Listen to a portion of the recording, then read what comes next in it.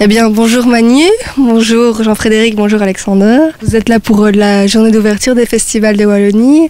Qu'est-ce que ça fait Manu Comté d'être un artiste associé d'un festival euh, qui a été créé en 1971 C'est quelque chose qui vous tenait à cœur de faire partie de cette euh, programmation cette année Oui, en tout cas, j'ai accepté avec beaucoup de bonheur. J'en parlais avec quelqu'un juste avant qui me disait c'est étonnant de voir l'accordéon, le bandoneon euh, mis à l'honneur comme ça dans un festival plutôt classique. Et euh, c'est vrai que c'est des choses qui se voient de plus en plus aujourd'hui. Et donc oui, c'est un, réel bonheur. C'est quelque chose que, j'ai accepté évidemment euh, tout de suite. Avec grand plaisir.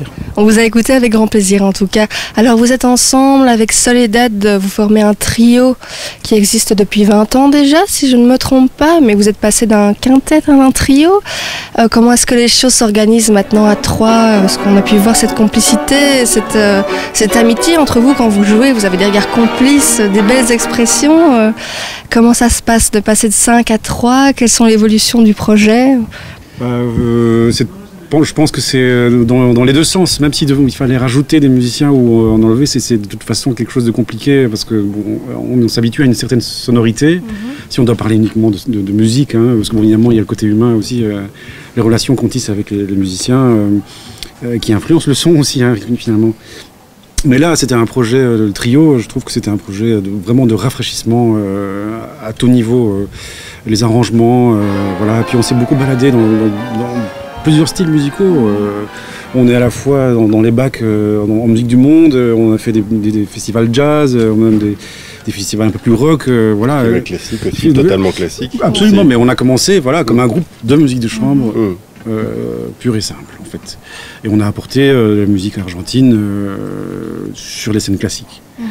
Et puis voilà, on, on, a, un peu, on a un peu voltigé entre les genres. Et, le but, c'était de revenir à quelque chose de plus acoustique, effectivement, de musique de chambre, euh, à la fois en gardant cette énergie un peu rock'n'roll qu'on a, et mhm. puis euh, revenir à un côté plus intime aussi, euh, et, de, de, travailler dans le détail aussi. Ça, c'est quand même quelque chose qui est propre au classique. D'accord. Donc un retour aux sources aussi, en quelque sorte. Oui, oui, oui, absolument. Si on, va revoir les programmes des tout premiers albums qu'on a enregistrés chez Virgin Classics, effectivement, le répertoire qu'on joue sur le nouvel album Logical, ça c'est très très euh, apparenté à ce qu'on faisait à l'époque.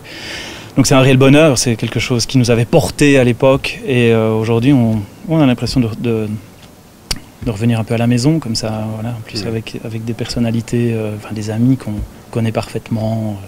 C'est oui, c'est plutôt, plutôt très chouette. C'est plutôt, très, chouette comme évolution, ça c'est sûr. Ah ben, c'est chouette de notre côté aussi, vous entendez, c'était un vrai plaisir.